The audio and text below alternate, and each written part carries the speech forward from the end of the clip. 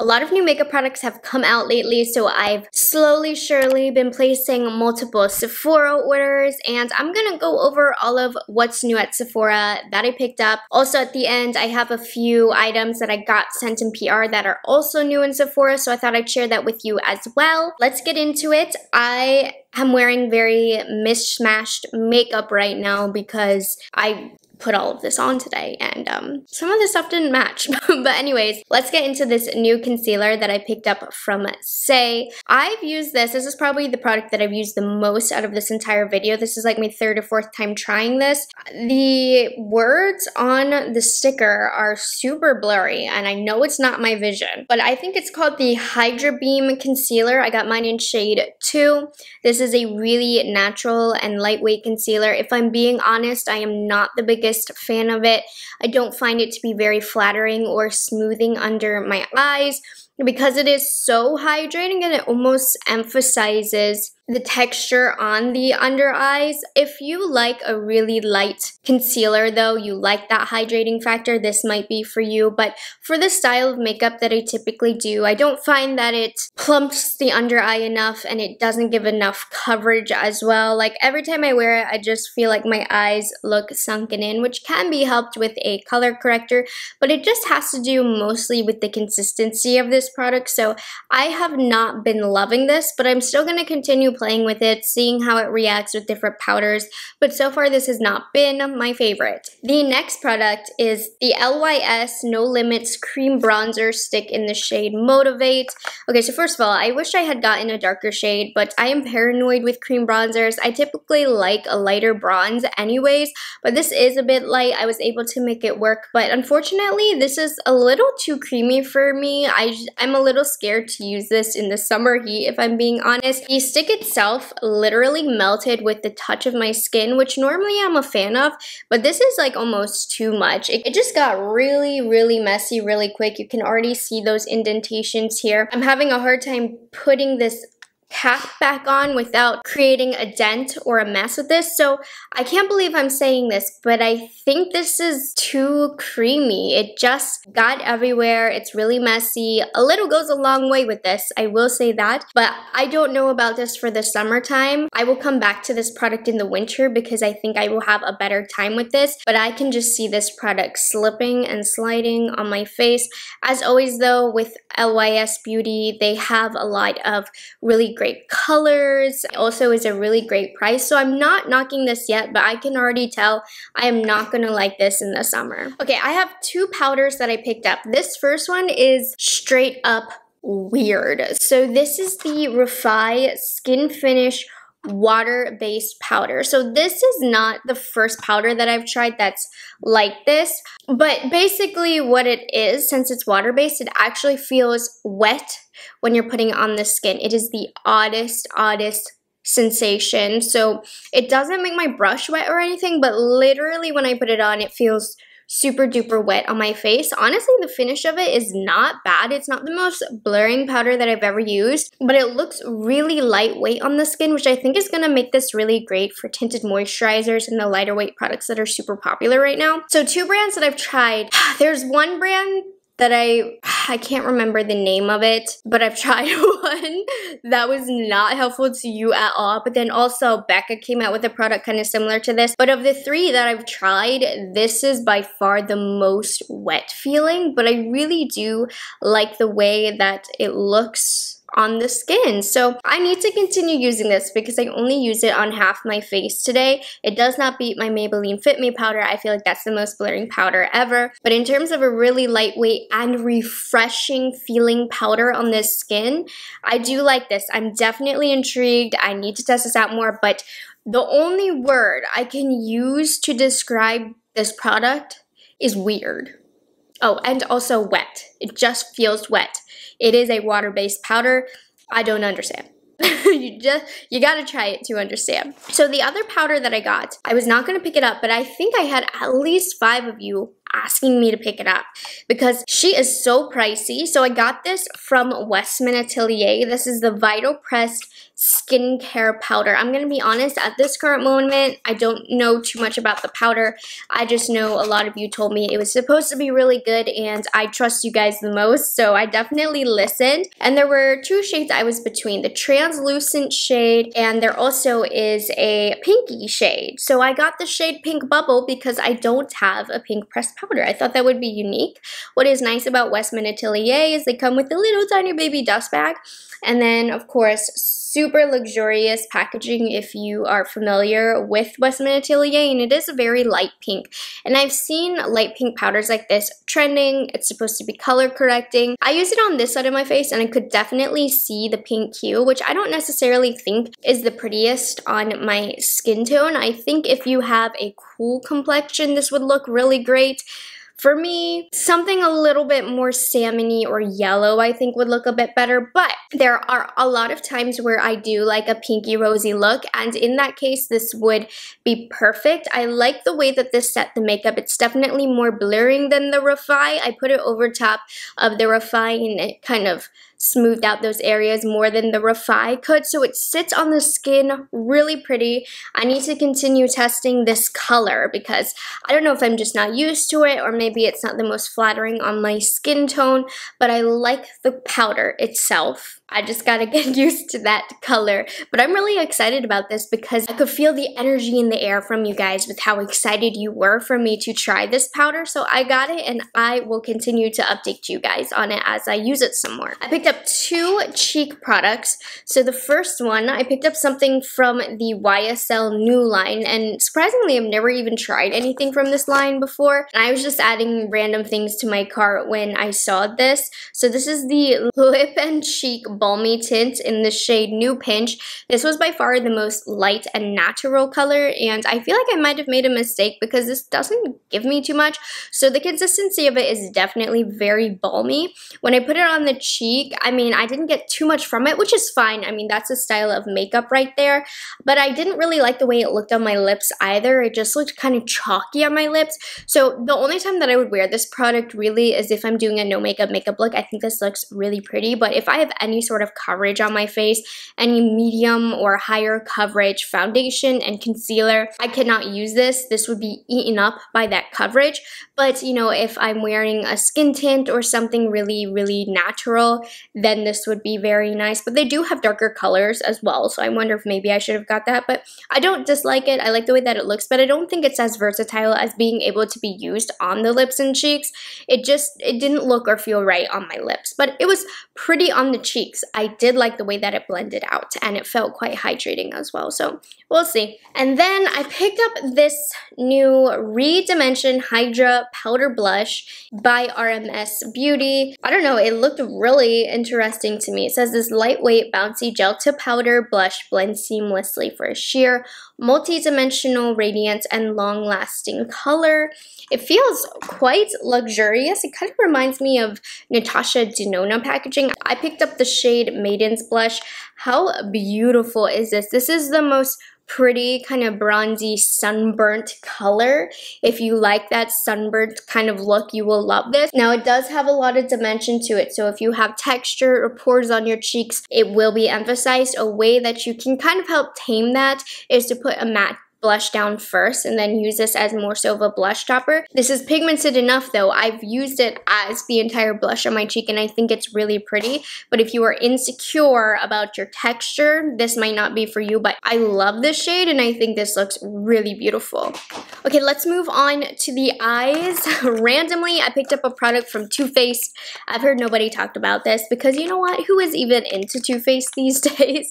But curiosity killed me. This is the laminating brow wax. I don't even like to wear my brows in feather brow style, but here I am. I was curious, and so this is interesting. It's a little bit more of a lightweight brow wax, if you ask me. I don't care for the spoolie that much. I don't think, I don't know, it just doesn't brush the hairs the prettiest, but the product itself, I actually do like because it starts off sticky right? Kind of like the ABH brow gel, not the brow gel, the brow wax and the Patrick Ta, but it does eventually dry down to have a lighter weight finish. So if you don't like how sticky those brow waxes make your brows feel, this does dry down and it feels like a normal brow gel. So you get a lot of control. I have no color in my eyebrow right now. I got this shape simply from using this. So I do like it, but there's one thing that I'm kind of unsure about. I feel like it did pill up because I did use uh, foundation down before and I got some pilling happening in my eyebrow. So I don't know if this is a product that maybe just disagreed with that specific foundation or if you can't apply foundation before using that. And in that case then I definitely won't like this product because it is in my routine to put foundation down first. So I'm gonna have to continue testing that to see what's up with it. But in terms of the actual quality of the product I like it. It's definitely a more everyday friendly way to get that laminated style brow look.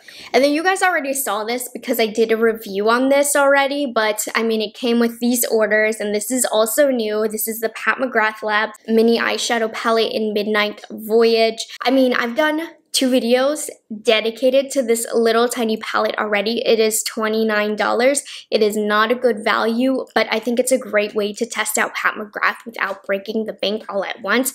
Five of the six shades in here are already existing, so if you are a Pat McGrath collector, there's a high chance that you have almost all of the shades, and the one shade that is new is this one right here. It's not exactly a showstopper kind of shade. It's a beautiful formula and whatnot, but it's very, very dupeable.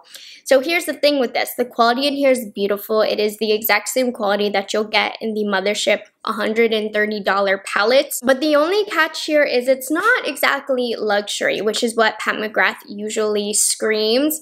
The packaging itself, it feels a little cheap and plasticky. Mine sounds a little squeaky. And the amount of product that you get is absolutely minuscule. So $29, you get three grams of product overall. That is not a lot. Now, I'm unbothered as somebody who is not going to hit pan on anything in my entire life.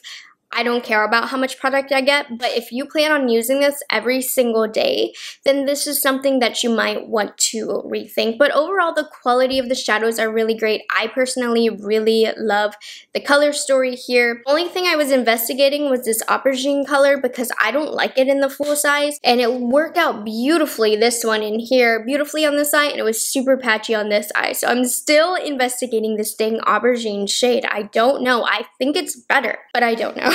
but anyways, I do recommend this if you are interested in testing and trying Pat McGrath but there are some drawbacks that might want to be considered. But I did do this look right here. I'm using one of my all-time favorite shades, Eleganza, which is in this palette. So stunning. I have the plum in the outer corner, and then I also use that plum aubergine shade to create a little mini wing that I didn't catch on camera, but really pretty easy look, and it's not going to break the bank all at once. Moving on to the last product. So the last product that I picked up from like my own money is from Fenty, and this is the Poutsicle Hydrating Lip Stain. I got mine in the shade number two, Zesty Bestie.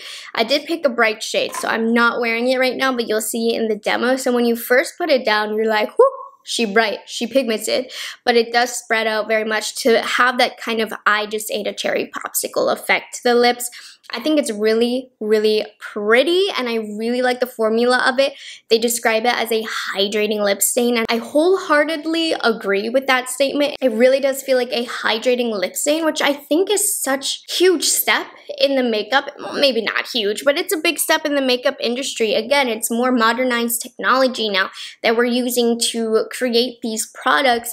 And yes, it is a lip stain that is hydrating and I really like it. So if that's what you're looking for, a lip stain that's not gonna dry out your lips, they did a good job with that. Okay, so I have kind of three more products. I mean, more than three, but let me just share with you. These were sent to me in PR, but they are brand new to Sephora, so I wanted to show you. The first thing I got sent to me was, was the Tarte Tartelette Tubing Mascara. So happy to see tubing mascaras becoming popular because tubing mascaras are waterproof mascara that is easier to take take off. So these have all of the characteristics of a waterproof mascara and that if they get wet, especially in the summer, It's not going to smudge. If you have straight lashes like me, they hold a curl a lot better and they're easier to take off most of the time. With just water, they come off. Well, the waterproof mascaras aren't easy to take off. That is what makes tubing mascaras better is that they are easy to take off.